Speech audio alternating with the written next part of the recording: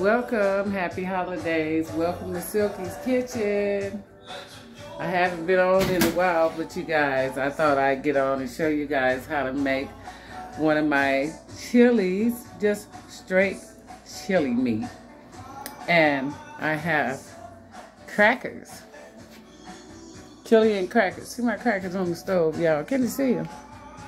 There you. Wait a minute. I'm videoing myself, so just excuse me. Okay. Well, you guys, I'm going to show you what I have here. I have some ground turkey here. And I like to, you know, smash it up. I don't like that, you know, stringy stuff. And then I have some cut up uh, beef smoked sausage here. I have onions. I have onions right here. I have yellow bell peppers, green bell peppers, spinach. was really cut up really fine. And I have garlic, chili powder, Lawry's seasoning, garlic powder, and I have stewed tomatoes. I actually have two cans. I was opening the can right here. A big can of tomato sauce, a chili pack, and I think that's just about it. So what I'm going to do now, you guys, is I'm going to marinate my meat. Let me put this over here so you guys can see what I'm doing. And then I have some pepper right here and some um, pink salt here, you guys. Pink salt and black pepper. So, let's get this party started. First, I'm going to get, let me turn this back thing off. Well, what I'm going to do is start my meat, too, you guys. So, let's put this over here so you guys can see. Okay what I'm doing here. So we're going to get some, I'm going to get some oil and put in that pan. You're always supposed to put a little oil in with the ground turkey, you guys, because ground, ground turkey is a white meat and it don't have that much fat in it, so it's not going to develop no grease for you. So that Therefore, you have to put your own grease. I'm putting on these gloves because I'm going to mush my meat up. You guys, I don't like it stringy and it was still frozen. And you see how pink this ground turkey is? Ground turkey is good for you, all white meat. Dropped a little piece on the floor, but that's okay. That's all frozen. I took it out this morning ran to the grocery store and got a few more things from the grocery store, you guys. So one thawed out and one didn't. So I'm trying to get that smashed up a little bit. You know, and throw the rest in. And that's two packs of this Demi O brown turkey, guys. That is two packs, okay? So the bottom part is all smashed up. I like it to be smashed, looking like hamburger meat. So I'm going to go ahead and take my gloves off now. Um, let me get this and put it in the front. I'm putting in some pepper. And you guys, pink salt is really good. Putting a lot of that in there because it's going to give it some good flavor. It's really good for you, okay? Now, let's get something here. And now we're going to get our skillet here and turn that down some.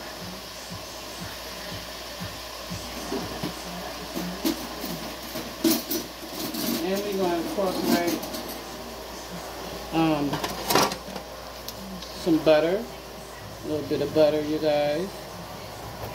Put that in the pan.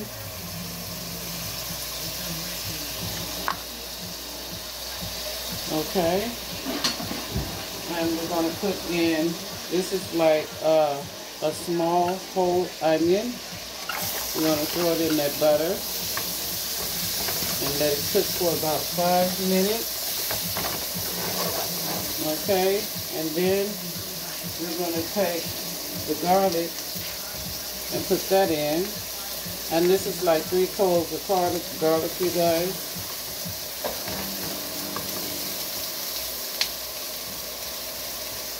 Okay, so we're going to let that cook for about five minutes.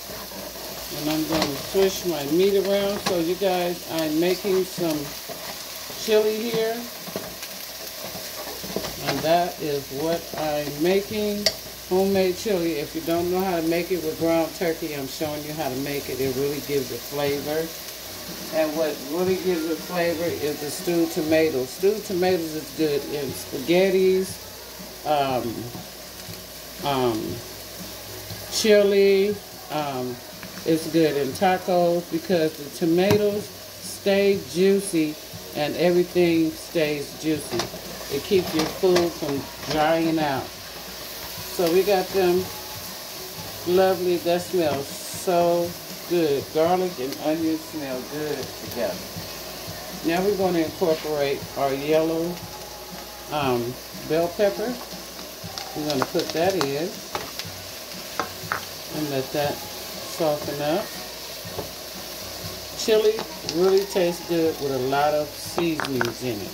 Yes, it does. So, we're letting that all cook together. And when you cook your um, ground turkey, you don't have to strain it. You don't have no grease. All the grease I put in it is what's giving it flavor. And you don't have to strain that meat. That's a good thing about ground turkey. A lot of people say they don't like it because they're so used to eating hamburger meat, but ground turkey is really, really good for you. Okay, we got all that. Look at that. Don't that look great? All that is going in my chili, you guys. I have the spinach. Spinach uh, absorb fast, so you don't have to put spinach in right away. Um, so I'm just getting this meat together. So now, you don't necessarily have to put your seasoning in all at once. So now I'm going to put in some lovely garlic powder in our some garlic powder in that meat. Okay. So when your meat get done, I'm going to show you what I'm going to do. And it's going to put this whole chili thing together for you guys. So just keep stirring our seasoning right here.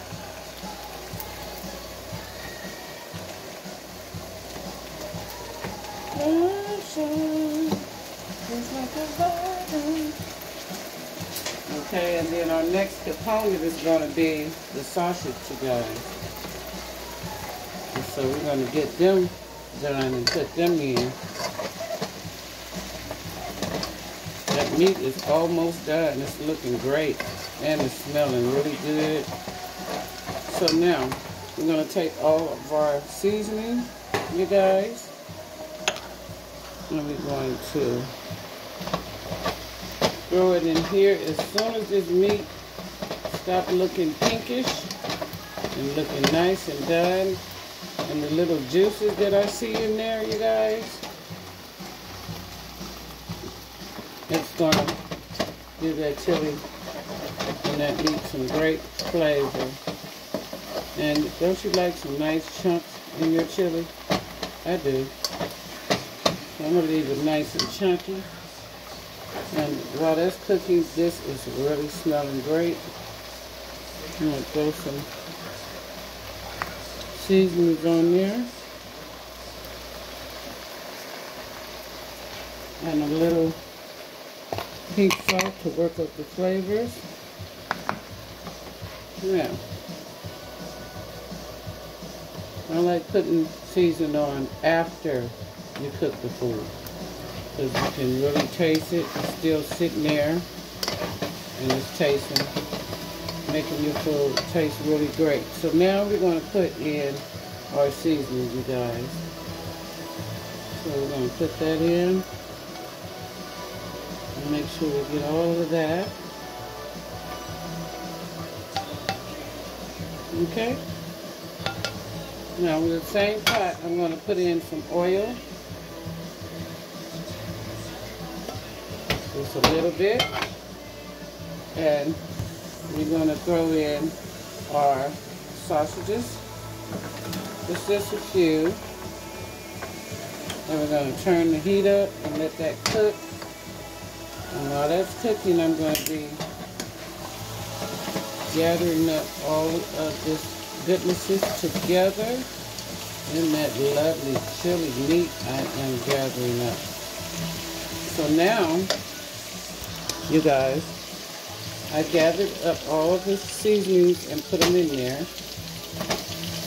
Okay?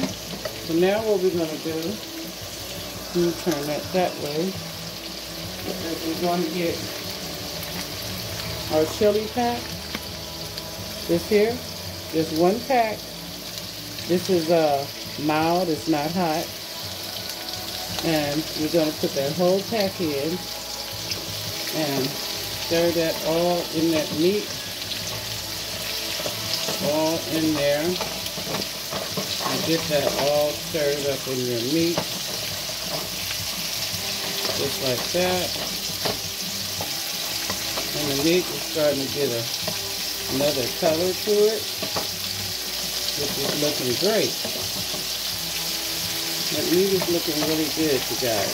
So, then when we stir all that in, you're going to put in a can of stewed tomatoes, you guys.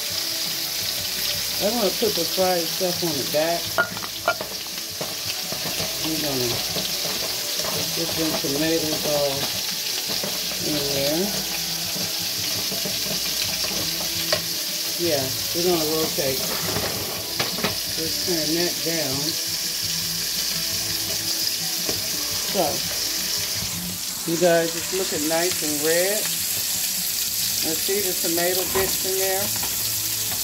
That's the first part of making your roux, okay? So, watch and learn. Watch and learn. So,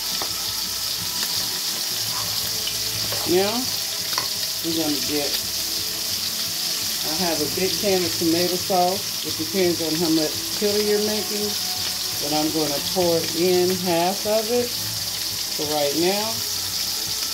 And stir that in. And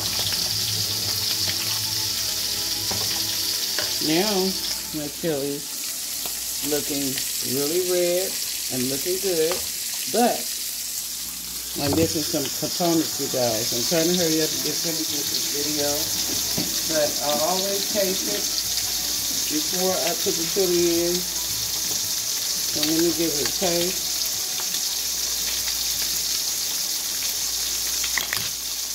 Um, okay. It needs a little more salt, you guys. So now I'm going to put in, I taste a little heat though from the chili in the pack. So now I want to put in some chili, guys. And this might be a tablespoon right there. I'm going to mix that in. And then I'm going to get some water. So we're going to put a can of water. But I just like to pour a little bit at the time, you guys. I don't want to overdo whatever I'm doing. And my sausages are nice and crispy. I like them like that. So, I'm going to put them to the side so they can go uh, some seconds, you guys.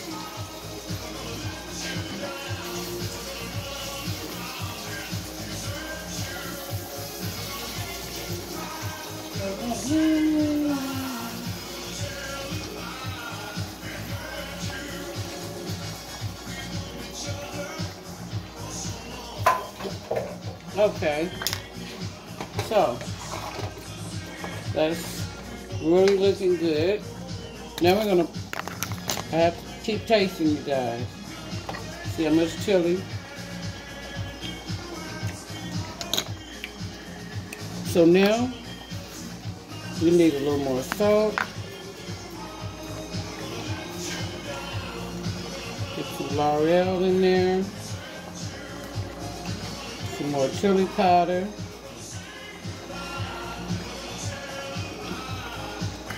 Okay, and then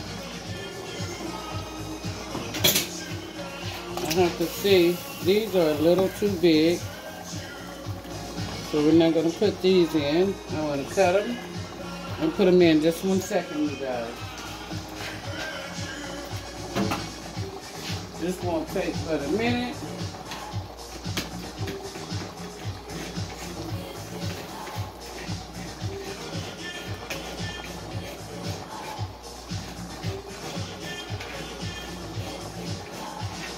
I really didn't need that much fruit tomatoes, so this will definitely, definitely be enough.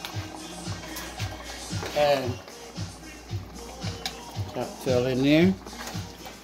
Okay. Now we're going to pour some more tomato sauce in. You know, and it really gives it a rich, good flavor. Now I'm going to taste it again.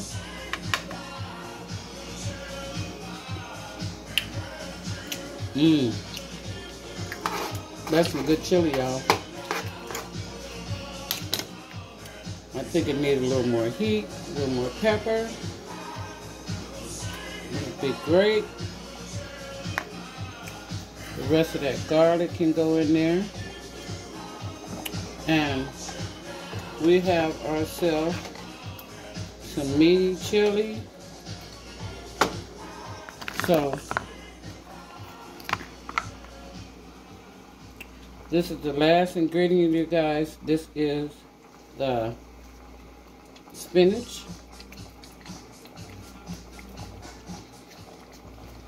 Okay. So, this is my homemade chili, you guys. Doesn't it look great?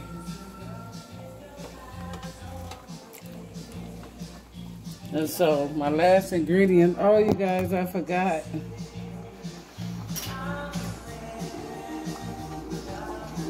The sausages. Mmm.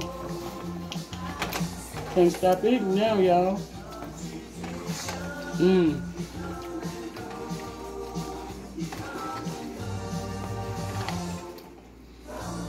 So,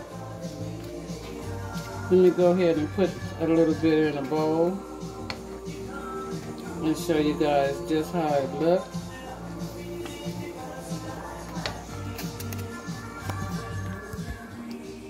This is some nice hearty chili that I made from home from scratch. Thanks for watching my video. Share and show you care. and give yourself some Christmas love or your husband or somebody. So I'm gonna make them some little homemade chili that's really good for you. No grease involved, you guys, with turkey meat. So, I'm to give it a try. And you know what, too, you guys? You can deconstruct it and do all other kind of stuff with it the next day, like make enchiladas, tacos. It'll taste good with some cheese on it. Just I just wanted to show you guys something to make on a nice cold day like today.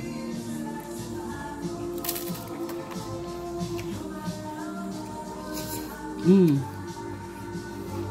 Bye.